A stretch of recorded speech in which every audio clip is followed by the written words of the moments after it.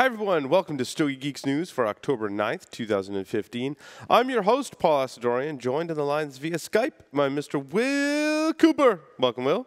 Hey, greetings, Paul. What's going on in the world of cigars this week, Will? Well, I think there's a lot going on with um, Camacho this, and there's three new releases coming from the Camacho umbrella, um, namely Camacho and the Border the Bold brands why don't I just kind of uh, kind of go right into it? Yeah. So the so the first one is this is a cigar that actually they showcased at IPCPR. It's a new limited edition by Camacho called the Camacho Shellback.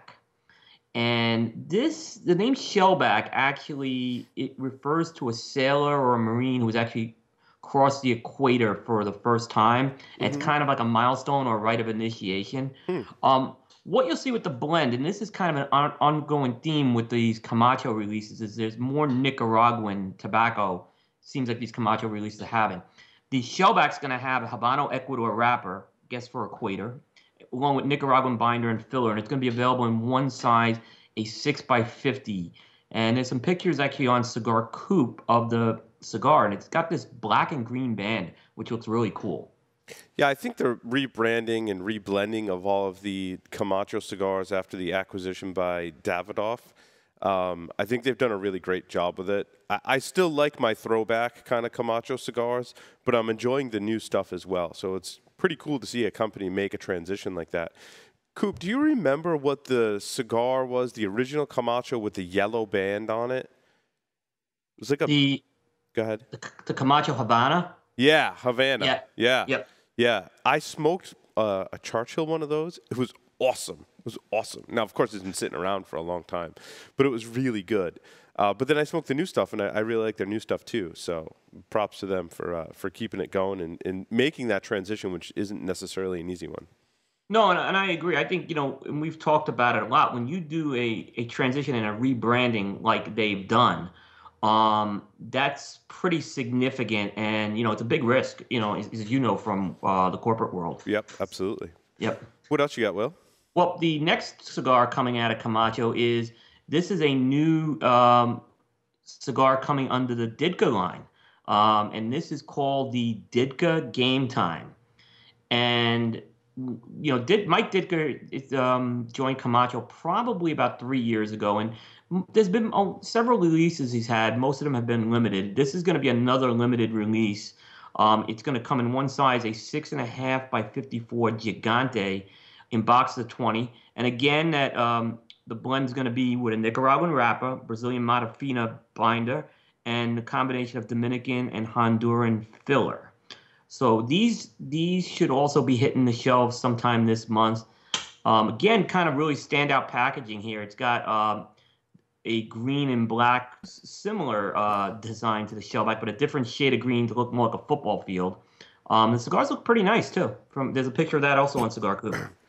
Is that that's the Ditka cigar you said? That's the Ditka Game Time. So I, it was interesting. Funny, I was listening to morning radio, and they were talking about how they saw Mike Ditka at an event, and he's like, "Oh, he's smoking a cigar," and I don't know what he knows about cigars. He's actually a cigar aficionado, dude. like, I wanted to call the radio station and be like, "No, dude, like he's the real deal." And in fact, the cigars that are branded with Ditka are actually really good. So. They are, and I think you know he's had some previous iterations, and I don't think they've had the quality like like the ones he's had. And um, you know he's he's really interesting too. I, I had a, I have had a chance to sit down with him, he basically told me, you know what, as far as these cigars go, he's he's not a blender, and nor does he claim to be a blender. Mm-hmm. He knows what he likes. He said, right. bring bring me your best stuff, and I'll I'll kind of give it the thumbs up or thumbs down. So I give him credit for being very honest on that. Yeah, he's put his name on some good stuff. So uh, as far as you know, I, I think we've seen a lot of cigars over time, Will, that have the personality or public figure attached to them, and they're kind of like hit or miss. Dick is one that was really big next door at the Havana Cigar Club. So, uh, and I've smoked them and liked them. So, yep, totally, totally agree. Yep, I've uh, I actually enjoyed. He did a very good Connecticut release called The Player, which was extremely limited. It came in a coffin. I think you would have liked that one. Interesting. Yep. Yeah, I've got some in my humidor that I picked up that just came into the Havana Cigar Club. They don't have the green label on them. I haven't put them in the review cycle yet, but. Um, I'll review those coming up. I'm not sure which ones they are. There's a yeah, there's plenty. There's a there's um a, there's a touchdown or throw. I'm sorry, throwback. There's a Ditka 89. Yeah. Uh, there's Ditka signature. So there's uh one has like the Dallas Cowboy colors. That's the Ditka signature. Okay. And then one has the Bears colors, which is the Ditka 89. It must be the Ditka 89 that I have. So look Yeah, that's a that. very good cigar. Okay, That's look for very- that review coming up on a future episode of Stogie Geeks. What else you got, Will? Well, we got another uh, of the Bold release. Um, this one is called Johnny Tobacconaut, and it comes from uh, our friend Matt Booth. So I guess Oh, the best have way- you smoked this yet? Yes, What did you? Do you want to hold it for the show or it had. Okay, I'll I'll I'll, I'll give a little uh, a uh, teaser? preview. Yeah, it had qualities like the Davidoff Nicaragua, gotcha. And it's a Nicaraguan puro. I don't know what the blend is, and it, it, whether it's how similar or how different it is, but it just struck me from looking at the wrapper, and maybe that kind of played into my head a little. Right. But it didn't smoke exactly like it either. Yeah, it had. Um, yeah, I gotcha.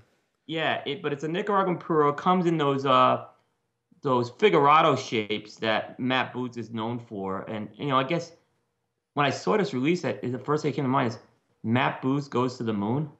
I I, wouldn't put anything past Matt Booth. I dude. would not put it past him either. I can't wait to smoke that one, especially if you're saying it has qualities of the Davidoff Nicaraguan. We've both reviewed that cigar very highly in the past, so Yeah, I mean, I had this. Um, I had this cigar coming out of the IPCPR. I didn't review it, but Mhm. I kind of just smoked it, yep. and it was very impressive. And and and I'm people who have smoked it. It's been pretty consistent. What's coming out with that as well. Right. Cool. Anything else for this week, Will? Um, just one more for folks. Uh, this will kind of be a little bit of a preview for next Thursday, but um, Matilde has released their second uh, line, the Matilde Oscura. And uh, for folks who don't know Matilde, that is the company owned by Jose Seijas, will be a guest on October 15th, Stogie Geeks. Um, this, I'll say this, this is a cigar I have smoked. It was one of the best cigars I had at IPCPR. Mexican San Andres wrapper, Sumatra binder, and uh, Dominican, Nicaraguan, and USA fillers. Um, coming in three sizes: a Corona, a Robusto, and a Toro Bravo. And I smoked the Corona and the Robusto, and I was amazed by the cigar. Cool. Well, that does it for this edition of Stogie Geeks News. You can check out the Stogie Geeks every Thursday night at 8:30 p.m. Eastern Time, where we interview people from the field. We do a debonair ideal segment. We review probably five to seven cigars each, uh, both Will and I, per week. So you want to make sure you check that out. StogieGeeks.com forward slash live. You can watch the show live and participate in our brand new chat room, uh, which went very well last night. So make sure you check that out, stogiegeeks.com forward slash live. You can also check out all of the latest cigar news and reviews on cigar-coop.com. Coop, thanks as always, and thanks everyone for watching.